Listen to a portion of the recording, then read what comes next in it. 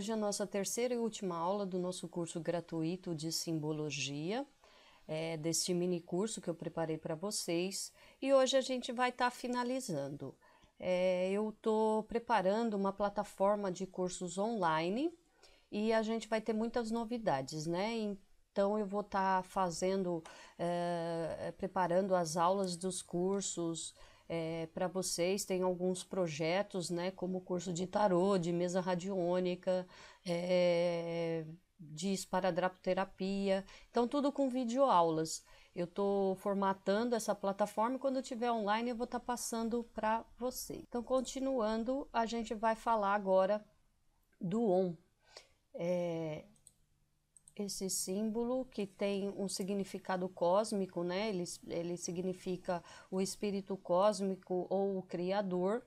Ele representa os três poderes: ação, conhecimento, vontade, três estados do homem: vigília, sono e sono profundo. Ele é muito usado para meditação no, hinduísmo e no budismo, e ele é um som primordial, o som sagrado dos hindus, considerado o som da potência divina. A deusa Induvaki, deusa da palavra, é a doadora deste som místico, segundo o hinduísmo. Este som pode ser composto de três sonoridades: A, U e M, ou Aum representando a tradição védica do hinduísmo.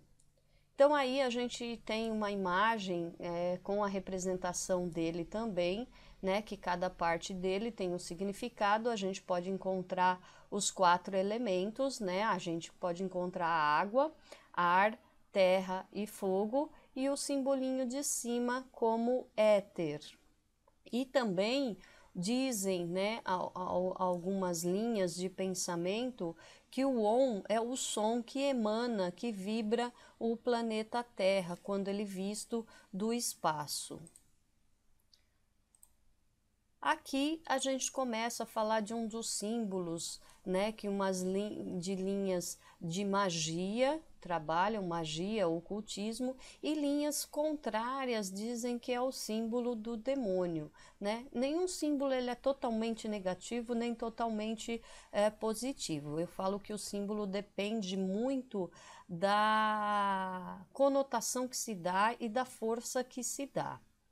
O pentagrama, num dos mais antigos significados, né, os hebreus designavam ele como a verdade para os cinco livros do Pentateuco, ou cinco livros do Velho Testamento, atribuído a Moisés. Na Grécia Antiga, ele era conhecido como pentalfa, geometricamente é, concebido de cinco As, por isso pentalfa. O pentagrama também é encontrado dentro da cultura chinesa, representando o ciclo de destruição ou ciclo de é, contenção dentro da medicina chinesa. É a base da sua filosofia, né? Então, dentro do estudo da medicina chinesa, acupuntura, a gente vai ver o ciclo de dominância com o pentagrama e os elementos da medicina chinesa. Então, dentro da medicina chinesa, ele tem é, uma, uma diferença utilizada dos elementos dentro da magia. Ele representa terra, água, fogo, madeira e metal. Né? No caso, a gente tem uma diferenciação, uma diferenciação no ciclo de dominância. O pentagrama e suas associações pentagrama e suas associações eles foram explorados por Pitágoras e os seus seguidores, que consideravam o emblema da perfeição. A geometria do pentagrama ela ficou conhecida como uma proporção divina. Era o símbolo do divino para os druidas. Para os celtas, eles representavam a deusa Morrigan, deusa ligada ao amor, à guerra e uma deusa é, protetora das bruxas. Para os egípcios, ele era o útero da mãe da terra, mantendo a relação simbólica com as pirâmides.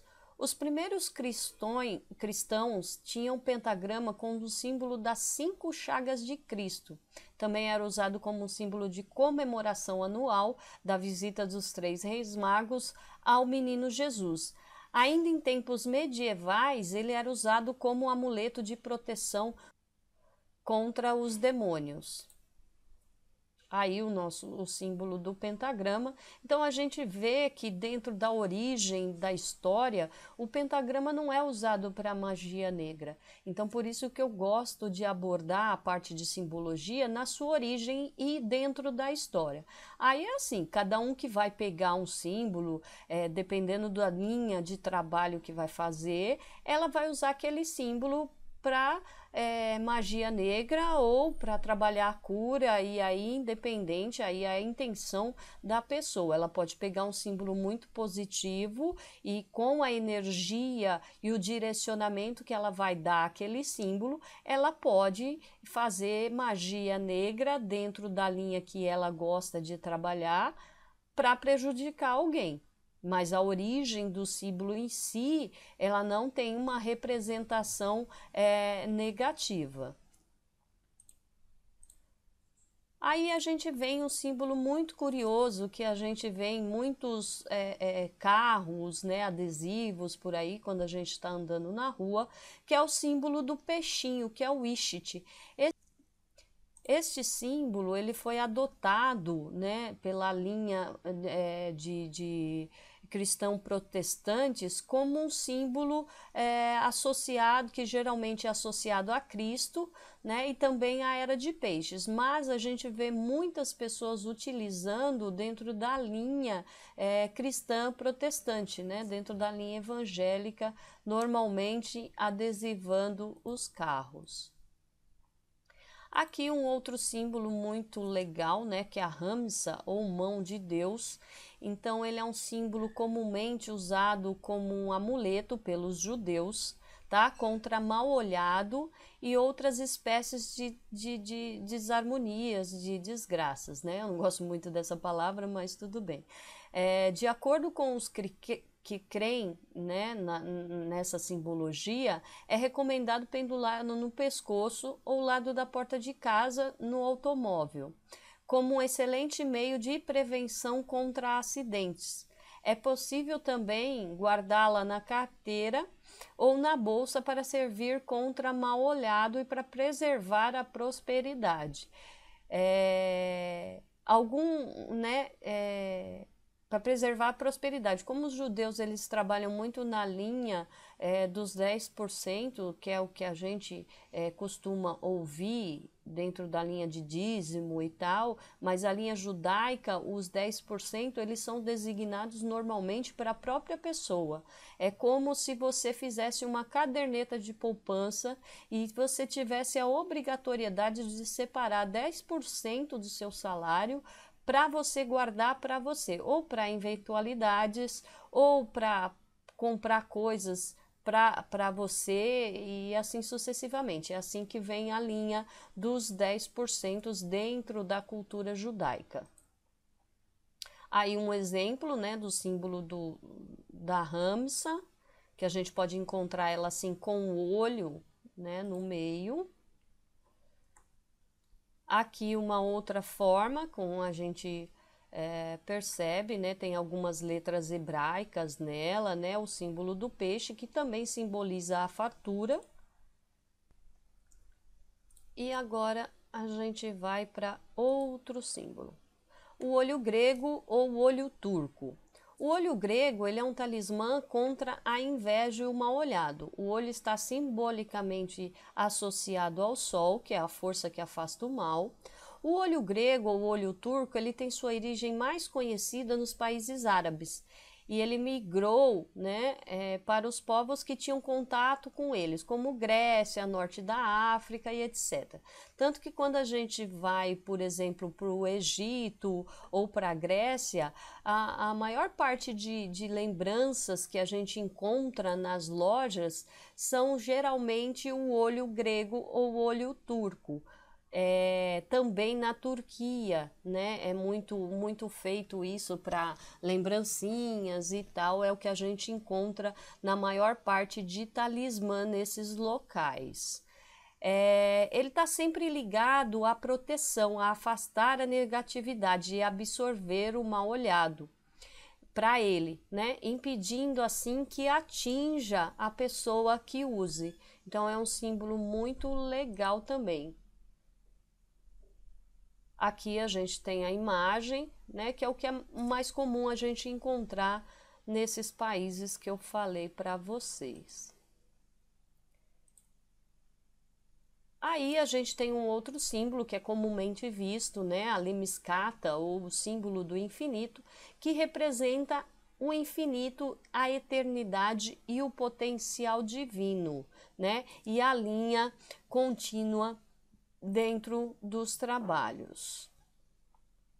Aqui, né, dentro da linha é, cigana, né, que se usa muito, é, eu vou falar um pouquinho para vocês do símbolo da ferradura.